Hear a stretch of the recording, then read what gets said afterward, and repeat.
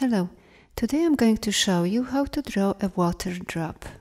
First open a new document. I'm going to change my background to a different color so you can better see what we are doing.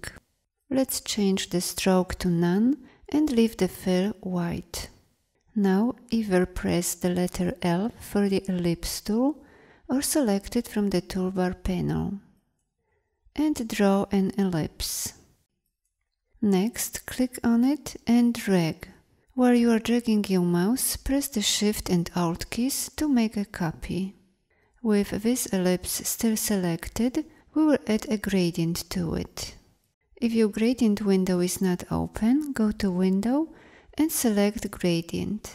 Select White and Black Gradient and change its type to Radial. Now press the letter G to show the gradient slider directly on the object and let's make a few adjustments. Hover over the end of this gradient bar, hold and drag. While you are dragging your mouse, press the shift key as well. This will rotate the slider by 45 degrees increments.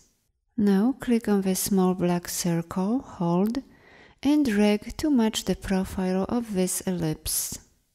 Let's move it down a bit and adjust the gradient. You can do it directly on the object or from the gradient panel. Basically, you want a thin dark shadow on the top edge. Next, select the other ellipse and we'll add a different effect to it.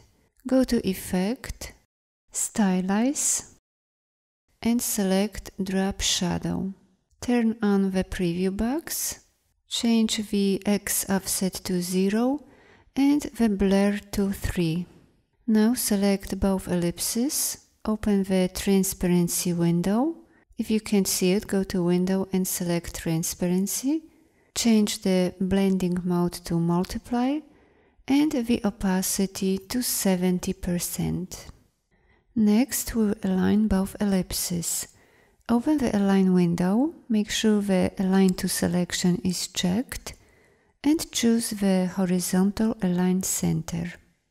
Now select everything and either press the Ctrl and G buttons on your keyboard or go to Object and select Group. This will keep everything together. Next we'll draw two more ellipses. One will be representing the light coming from the top and the other one will reflect the light on the bottom. First, select the ellipse tool, hover over the guideline and drag. While you are dragging your mouse, press the Alt key as well. Using the up or down arrow keys on your keyboard, we can adjust its position. Next, we will add a gradient to it. This time we will use a different method. From the gradient panel, choose white and black. Set the angle to 90. Change the black color stop to white. Click on it to select it and while pressing down the Alt key, click on white from the swatches panel.